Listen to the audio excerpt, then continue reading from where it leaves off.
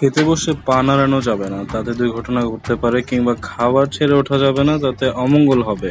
খেতে বসে নিজেদের অজান্তেই আমরা এরকম কুসংস্কারের মুখোমুখি হই। কখনো সেগুলো মানি কখনো বা হেসেই উড়িয়ে দিই। কিন্তু একবারও কি ভেবে দেখেছি কেন এইসব সংস্কার তৈরি হয়েছে? কারা তৈরি করেছিল এগুলো? কিংবা কোনো কেন সামাজিক যে আহ, মনস্তত্ত্ব কাজ করে এসব সংস্কার তৈরির পেছনে ঠিক আছে? তো এগুলো নিয়ে আমরা আলোচনা করব। যে কারণে খাদ্য সংস্কার করা হচ্ছিল। খাবার শুধু মানুষের ক্ষুধা নিবৃত্তিতেই করেনি। জীবনযাপনের প্রয়োজনীয় অনেক কিছু ভাবনের অনুঘটক হিসেবে কাজ করেছে। যেমন মর্গান মনে করেন, মাছ খাওয়া শুরু করার কারণে হয়তো মানুষ আগুন আবিষ্কার করেন না। এরপর যতই সময় এগিয়ে গেছে, মানুষ যতই উন্নত হয়েছে, সংখ্যা বেড়েছে, ততই মানুষের খাদ্যের চাহিদা বেড়েছে। এই চাহিদার কারণে মানুষ তো নতুন খাদ্যের সন্ধান করছে খাদ্য উৎপাদনের সংরক্ষণ রন্ধনের নতুন নতুন পদ্ধতি আবিষ্কার করছে। মানুষ যতই উন্নততর সভ্যতার দিকে এগিয়ে এসেছে ততই তার সমাজ জটিল হয়েছে। আর সেই জটিলতার কেন্দ্রবিন্দুতে থেকেছে খাদ্য সবসময় যেটা, এর বড় উদাহরণ কৃষির আবিষ্কার। এই আবিষ্কারের সঙ্গে সঙ্গে খাবারের জগতে আসে বিশাল বৈচিত্র্য। এর সঙ্গে শুরু হয় সংরক্ষণ প্রক্রিয়ার নতুন অধ্যায়, শুরু হয় নতুন নতুন শস্য উৎপাদনের জন্য প্রয়োজনীয় পরীক্ষা নিরীক্ষা, শুরু হয় কৃষি কেন্দ্রিক দেবতার ধারণা। উদ্ভব ঘটে খাবার নিয়ে মানুষের নতুন সংস্কার এবং মিথের। তো যেহেতু খাদ্য মানুষের বেঁচে থাকার প্রধানতম অবলম্বন, তাই এর সর্বোচ্চ সঠিক ব্যবহার নিশ্চিত করতে চেয়েছে মানুষ, যে কারণেই তৈরি হয়েছে বিভিন্ন বিধিনিষেধ, বিশ্বাস বা সংস্কার। কখনো কখনো সামাজিক মনস্তত্ব তো প্রকাশিত হয়েছে এসব সংস্কার বা বিশ্বাসের মধ্য দিয়ে।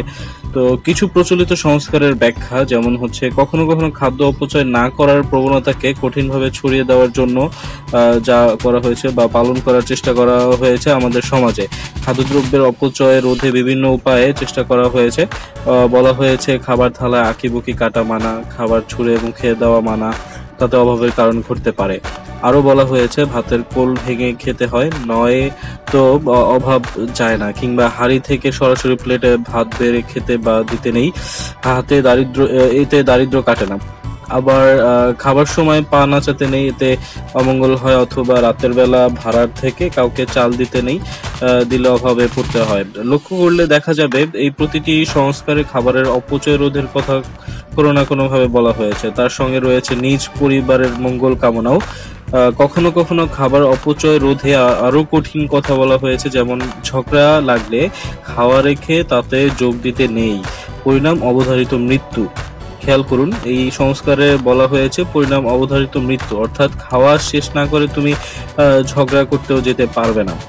কোনো কোনো সংস্কার পুরুষ আধিপত্যের কথাও বলে, যেমন ছেলেদের ভেটকি মাছের মাথা খেতে নেই, অথবা চেং মাছের বা টাকি মাছের মাথা পুরুষদের খেতে নেই। এখানে উল্লেখ করতে হয়, মাছ হিসেবে ভেটকি বা চ্যাং সুস্বাদু হলেও তাদের মাথার সুস্বাদু নয়। কাজেই স্বাদহীন এই মাথা পুরুষ মানুষের খাওয়া উচিত নয়।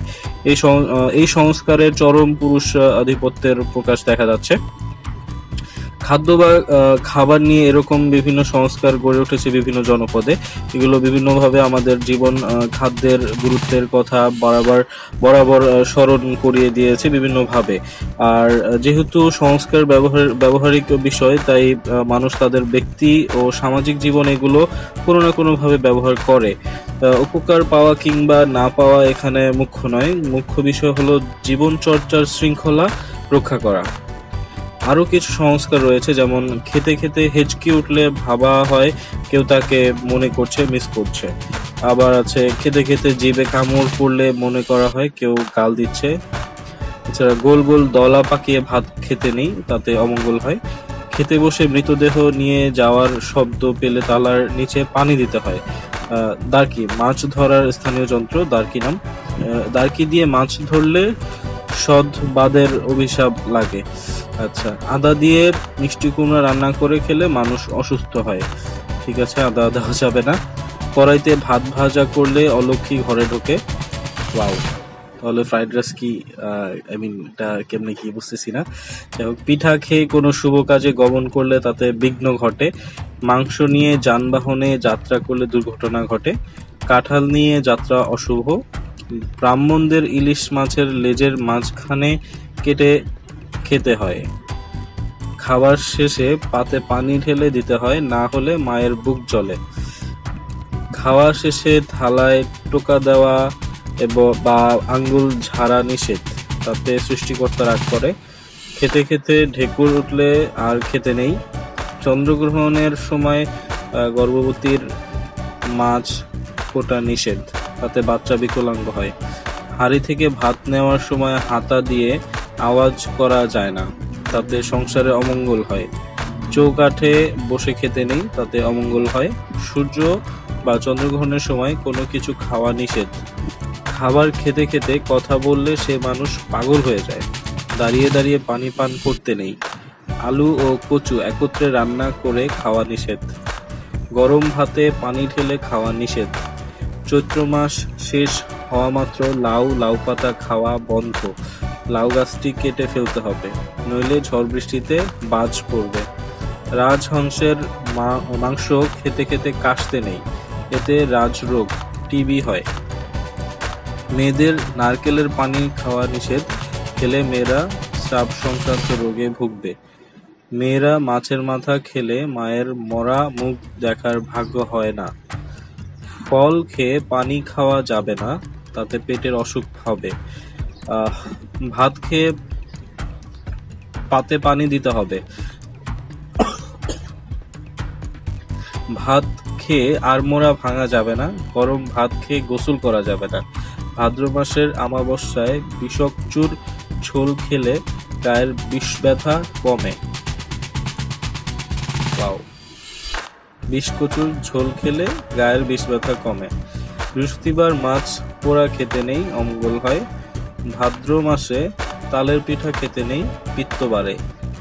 বাজার থেকে কিনে আনা তরি তরকারি কুলায় ঢেলে রাখতে নেই, তাতে অমঙ্গল আর অভাব বাড়ে। শাক কুলায় বাঁচতে নেই পিতা হয়ে যায়।